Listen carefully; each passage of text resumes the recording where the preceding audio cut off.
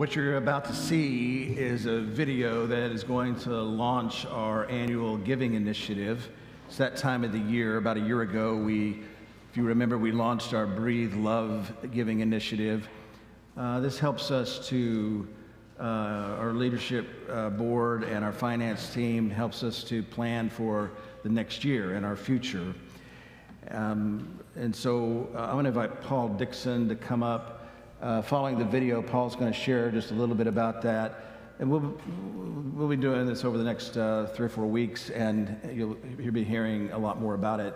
But we wanted to start with um, this video that focuses on our kids.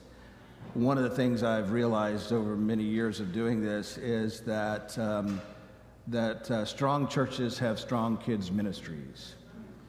And that, um, and you'll, you'll hear me say this over the next few weeks, but um, uh, Park has a legacy of strong kids ministries, children and youth. And coming out of a pandemic, or coming even in a pandemic, the, a lot of the things, a lot of things that go through our minds is a is sort of we think we can't do something, we can't we can't do this, we can't do that because of the pandemic. Well, I want to sort of change that narrative and say yes, we can do things. That we're not going to be stopped by uh, this pandemic. Uh, we're going to look forward. We're going to move into the future. And, uh, and one of the ways we're going to move into the future is to focus on our kids. When you focus on kids, you also get to know their families. And when you get to know their families and they be part of this community, then our, then our church grows and it strengthens and it becomes more and more healthy. Uh, I'm going to leave the rest of this to Paul, but I wanted to introduce this video to you. Our focus for our uh, 2020 uh, two giving initiative for this next year operations budget. For our whole budget, with the focus on kids, is on the block, for the block, our kids.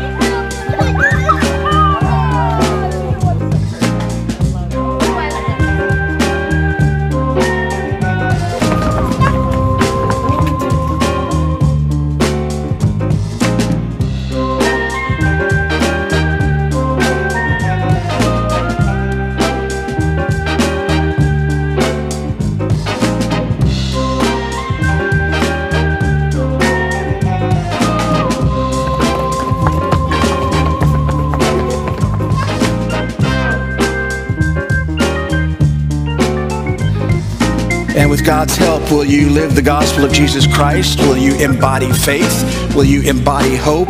Will you embody love? Will you pray for Jeremiah's journey, his journey of discipleship? And will you not only pray, but will you invest in that journey as well? If so, say,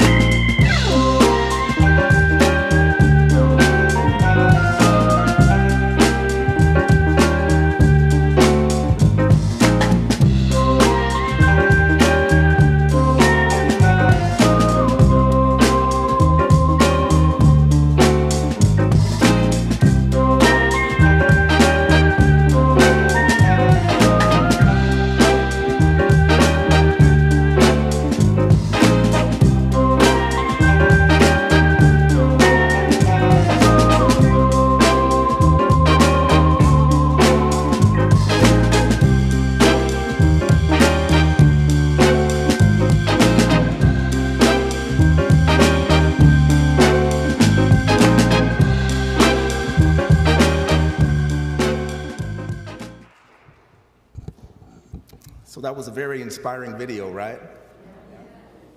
Uh, my name is Paul Dixon, and I'm a member of the finance team and the church leadership board.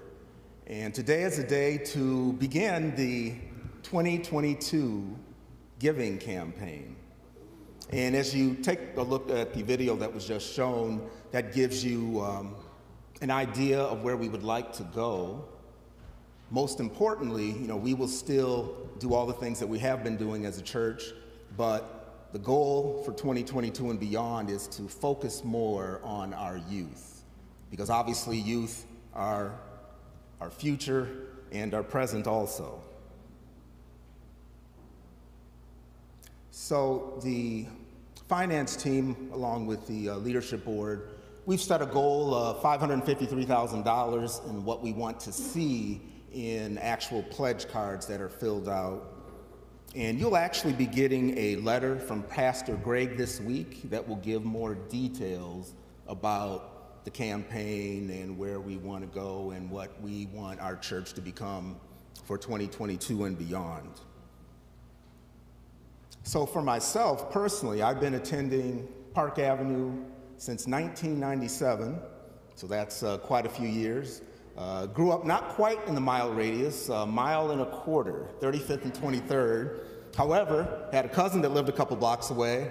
I actually played in a basketball league on the blacktop uh, a few years ago, so I've been aware of Park Avenue for pretty much my entire life. So I thought, why is it that I attend Park Avenue?